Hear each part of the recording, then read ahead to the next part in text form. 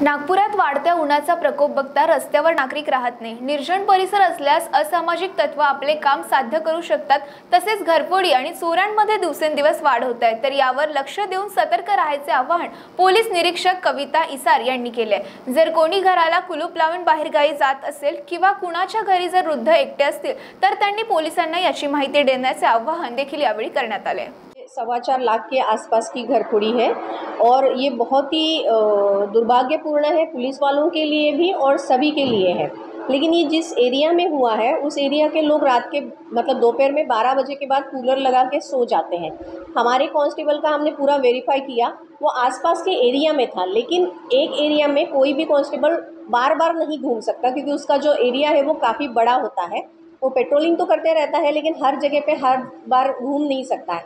तो हमने बार बार ये बताया है कि अगर घर में कोई वृद्ध है जो अकेले रहते हैं या दो भी रहते हैं तो उसके बारे में पुलिस को बताइएगा। अगर आप बाहर गाँव जा रहे हैं और आपके घर में वृद्ध है या अगर आप बाहर गाँव जा रहे हैं और आप ताला लगा के जा रहे हैं तो इसकी जानकारी पुलिस वालों को दी जाए ताकि हमारे कांस्टेबल बार बार आके आपको चेक कर सकें।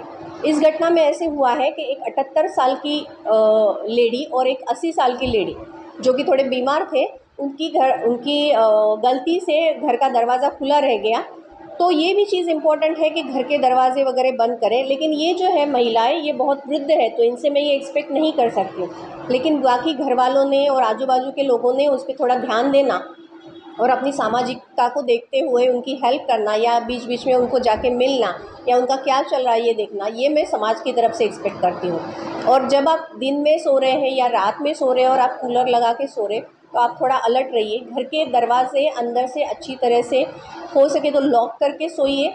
सामने वाले दरवाजे की तरफ़ तो आपका ध्यान रहता है, लेकिन बाजू वाला दरवाज़ा और पीछे वाला दरवाज़ा, ये कई बार हमने देखा है कि चोरी और घरफोड़ी की घटनाओं में बाजू का और पीछे वाले दरवाजे से चोर आ रहे हैं, जिसकी तरफ़ हमारा ध्यान नहीं है, उसकी टिचकनी भी हमारी इतनी पक्की नहीं है। तो इन सारी चीज़ों की एहतियात रखना सबके लिए ज़रूरी है।